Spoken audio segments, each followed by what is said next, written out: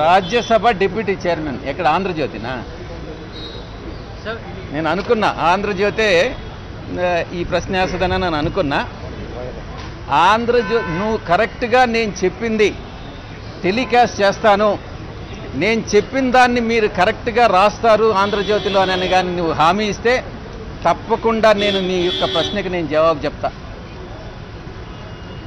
Deputy chairman పోస్టుకి YSR Congress party వైఖరి ఏంది అన్నటువంటిది ఆంధ్రజ్యోతి విలేకరు అడుగుతా ఉన్నాడు. చాలా స్పష్టంగా చెప్తా ఉన్నా.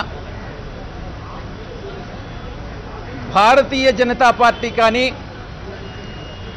భారతీయ జనతా పార్టీ యొక్క మిత్రపక్షాలైనా కానీ ఎవరిని అభ్యర్థిగా నిలబెట్టినా కూడా మా వైఎస్ఆర్ కాంగ్రెస్ పార్టీ సపోర్టు చేయదు YSR Congress party Bharatiya Janata party అభ్యర్థిని కానీ దాని మిత్రపక్షాల అభ్యర్థులను కానీ బలపరచదు డిప్యూటీ చైర్మన్ పోస్టుకి. ఎందుకంటే దానికి కారణం కూడా చెప్తా ఉన్నాం. మా పార్టీ యొక్క విధి విధానాలు ఆంధ్ర రాష్ట్ర ప్రయోజనాలే ముఖ్యం. మొట్టమొదటి నుంచి కూడా చెప్తా ఉన్నాం. రాష్ట్రానికి ఏ పార్టీ అయితే ప్రత్యేక హోదా ఇస్తుందో ఆ పార్టీకి మేము సపోర్ట్ చేస్తామన్నటువంటి విషయాన్ని మా పార్టీ అధ్యక్షులు పదే పదే చెప్పడం జరిగింది. దానికి అనుగుణంగానే భారతీయ జనతా పార్టీ మేము ప్రత్యేక హోదా ఇవ్వము అని కోర్టులో అఫిడవిట్ దాఖలు చేసిన తర్వాత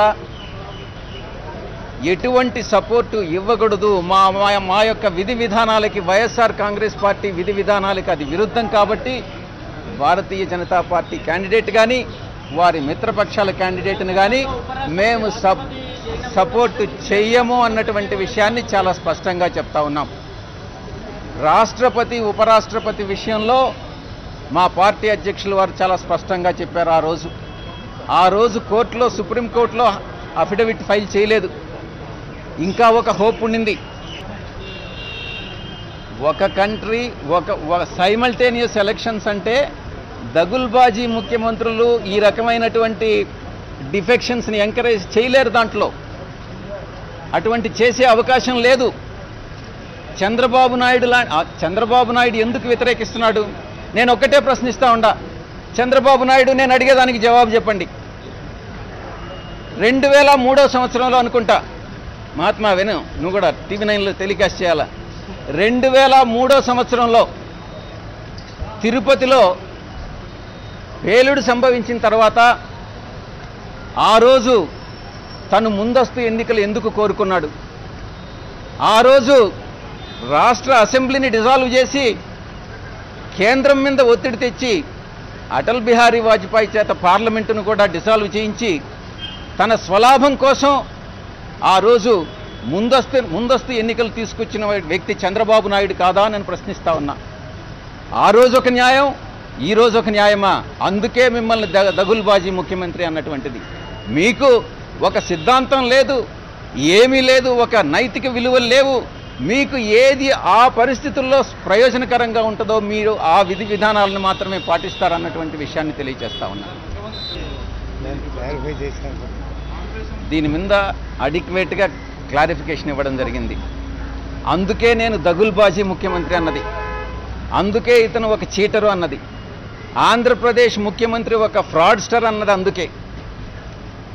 తను నిజంగా చిత్తశుద్ధిగానుంటే రెండు వేల మూడులో ఎందుకు ముందస్తు ఎన్నికలు కోరుకున్నాడు? ఆరు నెలల ముందుగానే అసెంబ్లీ ఎందుకు డిజాల్వ్ చేశాడు? ఎందుకు వాజ్పేయి గారిని ఆరు నెలలు ముందుగా ప్రధానమంత్రి పదవి నుంచి పీకేయించేశాడు? ఒక్కసారి తన మనస్సాక్షిని అడగండి.